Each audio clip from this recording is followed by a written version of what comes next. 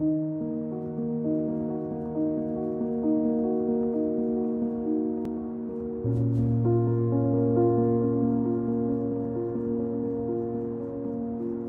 June 14, 1939, Mr. and Mrs. Hickson and their two kids, Harold and Charles, were camping at Medicine Bow River close to Elk Mountain of Wyoming.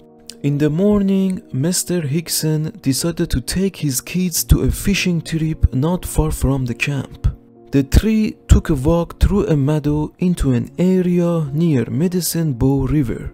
Mr. Hickson kept the boys behind him as they were walking very close to him. He was between water and the boys. Mr. Hickson left the boys for 20 minutes to work his way up and upstream to check the spot. The river was always on his side, but not the boys. When he came back, he couldn't find his sons. He immediately went to the campground assuming the boy turned back and left but he couldn't find them there. They searched for a while and then notified the law enforcement. Several hundred searchers came to the area and they had aerial support as well. At some point, three bloodhound dogs came to the scene and started tracking the scent up to a location higher in elevation than the spot the boys were last seen. The spot was so dangerous and thick that even the searchers had a hard time going through it. At some point during the search, they found some tracks belonging to small boys that they assumed must have belonged to Mr. Hickson's sons. Searchers continued looking for tracks and at some point they found only one set of tracks which showed one of the boys probably collapsed somewhere. Bloodhounds didn't find either boy and soon there was no tracks to follow. The Hickson boys were never found.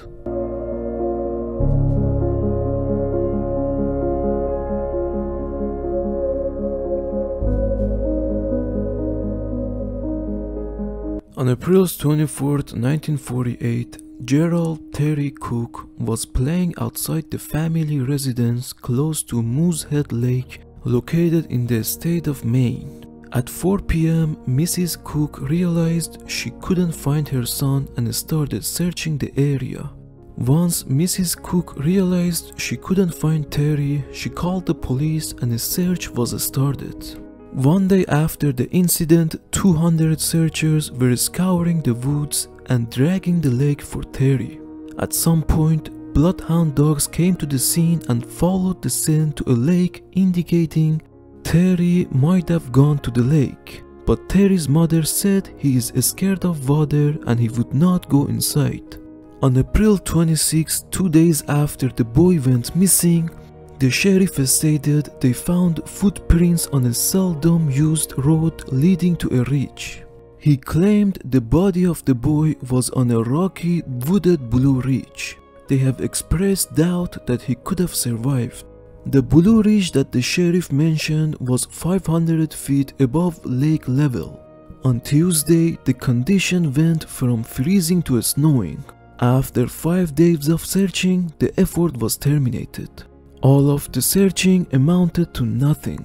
The Cook family continued their informal search with friends and family for a while, but they had no success. Gerald Terry Cook was never found.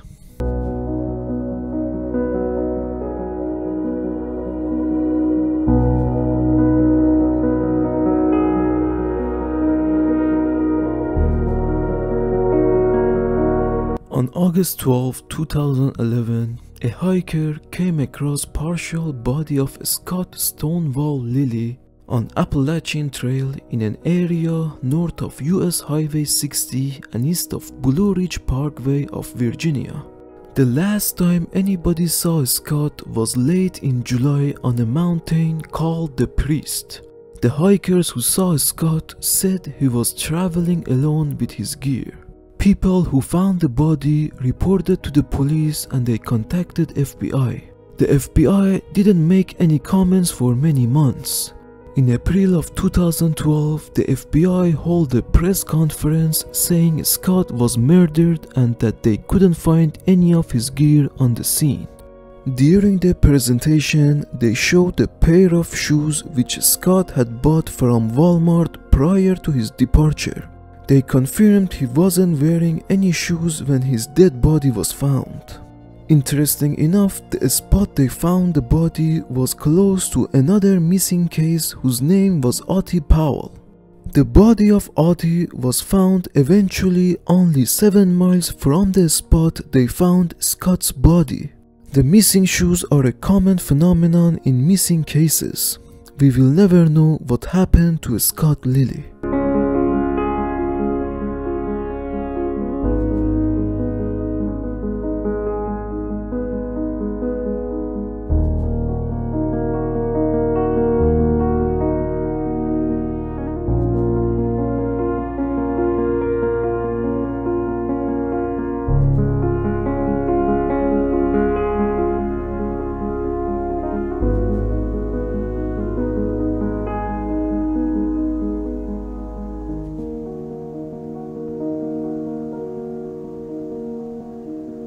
You